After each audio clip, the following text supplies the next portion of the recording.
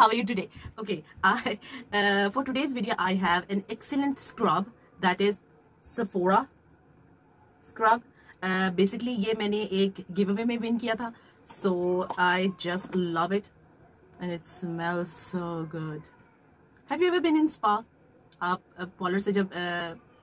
Facial करवाते हैं और पॉलर के अंदर एक अरोमा होता है it soothes me anyhow okay i want to share that uh, it looks like this from inside and it's a jar so its consistency is like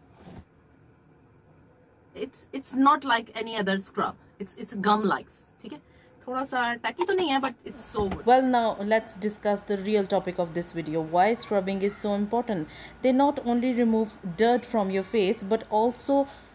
exfoliates and removes cutin that is the dead skin and most scrubs have small granules or beads which promotes metabolism and blood circulations leave the skin tender and brightening scrubbing should be done only after cleansing scrubbing means taking off your oils that you just apply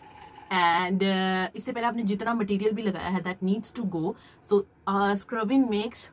that material also go you should also not to scrub the delicate parts of your face like around your eyes and your lips because their skin is different over and over like yeah अब जैसे इसकी थोड़ी सी consistency hard होगी so what you do you take little water and make the scrubbing फ़ौरन बाद आपको ऐसी products use करनी चाहिए जिनके आपको सबसे ज़्यादा रिजल्ट्स चाहिए हो like moisturisers serums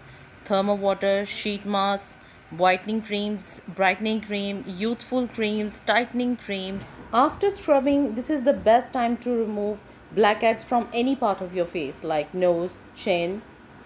I'm gonna come and wash it off and see. My face is so soft and it's so clean. This product is definitely do its job and it is so aromatic that it smooths out your skin and cleans your skin.